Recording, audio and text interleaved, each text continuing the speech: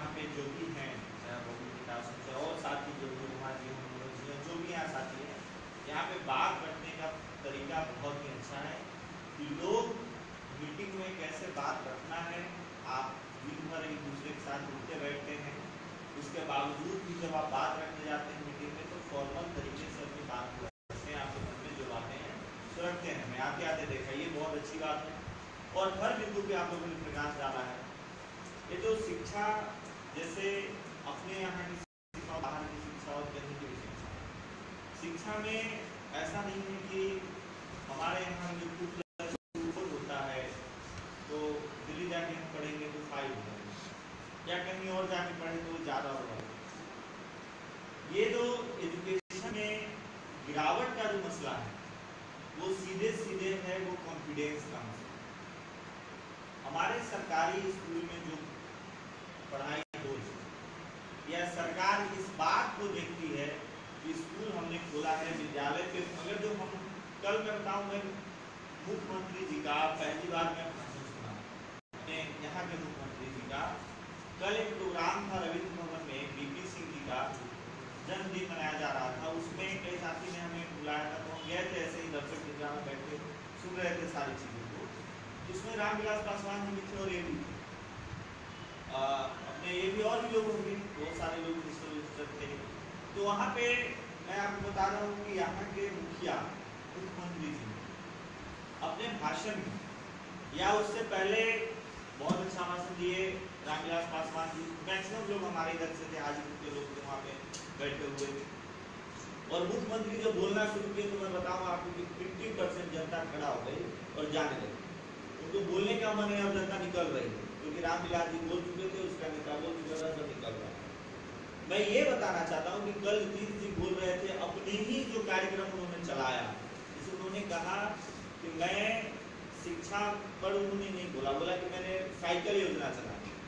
Cycle योजना चलाया, जिससे क्या हुआ कि लड़कियाँ साइकिल चलाने लगी घर से निकल रही थी। हम भी इस बात को अप्रिशिएट करते हैं कि ये बातें यहाँ तक सही है। ये एक सोशल रिफॉर्म के आगे आप बढ़ सकते हैं। उनके जितना भी निश्चय है, सात निश्चय को आप देख लीजिए, या फिर उनका बाल विवाह कर जाइए, या फिर आप दहेज पर जाइए। और खूब बढ़िया से पता है कि दहेज में दूसरा नहीं है। कल भी हम एक शादी में गए थे, एकदम बिना नंबर की गाड़ी, लगी हुई थी सजी हुई। उनको पता था कि गाड़ी दहेज का ही होगा, वो और किसी चीज़ का नहीं हो सकता। तो मेरे कहने का मतलब ये है कि कल भी मैंने उनका लेटेस्ट भाषण सुना, उसमें उन्होंने अपनी योजनाओं के बारे में, सात निश्चय के बारे में उन्होंने बोला। फिर उसके बाद उन्होंने अपना जो विवाह दहेज प्रथा, सारे चीज़ बोलते हैं। आप गौर कीजिएगा, शराबबंदी के बारे में बोलते हैं।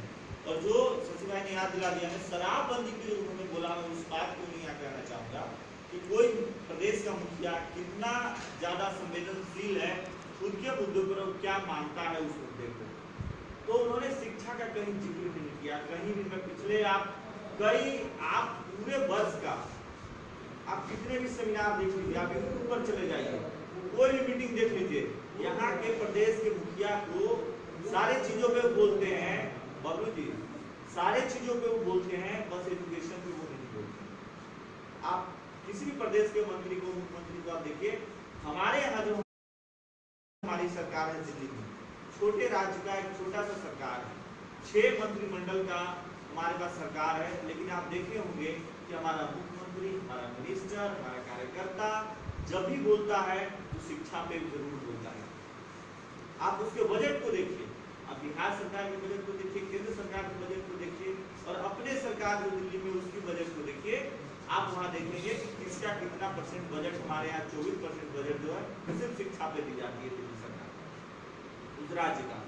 मेरा कहना यह है कि आपके पास हम लोग के जो मूल सिद्धांत में, हमारी पार्टी का जो कार्यक्रम है और जो हमारा काम है, उसके एकदम नट सेल में है जो, वो शिक्षा है। हमारा सरकार पूरी तरह से शिक्षा पर फोकस कर रही है। उसके रिज़ल्ट भी आ रहे हैं। आईआईटी वगैरह में देखिए, सरकारी स्कूल के बच्चे जा रहे हैं। तो बाहर जो हमारे सरकार जो दे रही है दूसरे राज्यों में आप कर सकते हैं, हिंदुस्तान के किसी भी राज्य में वैसा सरकारी स्कूल नहीं है, जो दिल्ली स्कूल है। अभी जो गोवा में साथी होंगे, एक ट्रिगो लोन से हमारा दोस्त बहुत अच्छा बन गया वहाँ, बहुत अच्छा साथी है, वो अपने बच्चों को लेके आया। बोला कि अमित भाई, मुझे फ़ोन किया, बोला कि कोई सरकारी स्कूल बताइए, जिसमें हम अपने बच्चों को दिल्ली घुमा सके।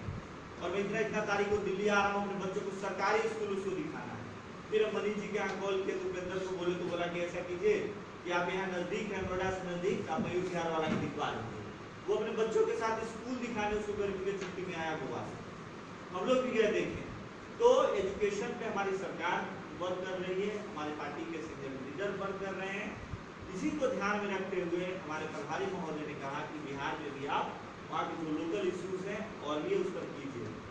पटना कमेटी ने इस बात का इनिशिएटिव लिया है, उसका बहुत बहुत धन्यवाद है। मेरी भी बात हुई। अभी कुछ दिन पहले शिक्षा पे आर सर ने, वहाँ पे बहुत अच्छा मुंगेर में इन्होंने शुरुआत किया।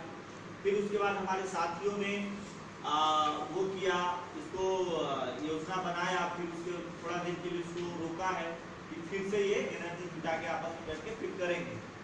और पटना टीम इसको इनिशिएटिव आज कर रही है, ये अच्छी बात है। शिक्षा पे एक और बात बताऊँ कि एजुकेशन पे 16 या 19 मार्च को एक लेटर शासका सेक्रेटरी है, कोई चोंकू करके उनका नाम है, मेरे पास है लेटर वो लेटर उन्होंने जारी किया। लेटर संख्या पूरा पूरा लेटर है वो हमारे पास।